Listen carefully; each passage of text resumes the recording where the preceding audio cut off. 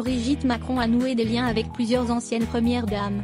Si elle n'a pas revu Bernadette Chirac depuis la mort de son mari, en septembre dernier, elle veille à prendre régulièrement de ses nouvelles, comme le rapportent nos confrères du Parisien, dans un article paru ce vendredi 3 janvier. Brigitte Macron a le souci de bien faire.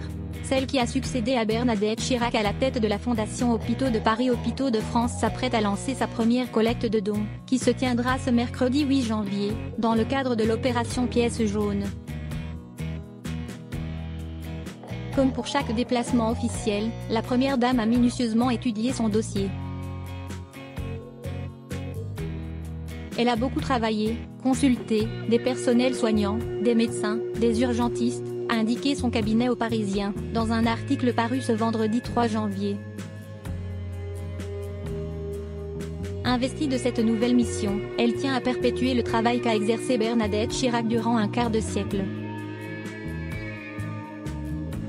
Brigitte Macron semble d'ailleurs très attachée à l'ancienne première dame. Si elle ne l'a pas revue dernièrement, la veuve de Jacques Chirac étant très affaiblie, elle prend régulièrement de ses nouvelles, précise nos confrères. Honorée de lui succéder à la tête de la Fondation des Hôpitaux de Paris Hôpitaux de France, Brigitte Macron a, dès qu'elle le peut, une pensée pour l'ancienne Première Dame. En décembre dernier, elle avait tenu à lui rendre hommage via un communiqué publié par l'organisation caritative qui annonçait ses projets pour 2020. Je suis heureuse de lancer cette nouvelle édition de l'opération Pièce jaune. Ma première pensée est pour Bernadette Chirac qui a présidé la Fondation Hôpitaux de Paris, Hôpitaux de France pendant 25 ans, déclarait-elle. L'affection entre les deux femmes ne date pas d'aujourd'hui.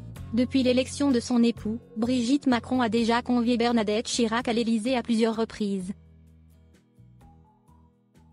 Au petit soin pour son invité, elle s'était même assurée, lors d'un déjeuner organisé en 2017, que l'épouse de Jacques Chirac soit servie dans sa vaisselle de table préférée, selon Vanity Fair.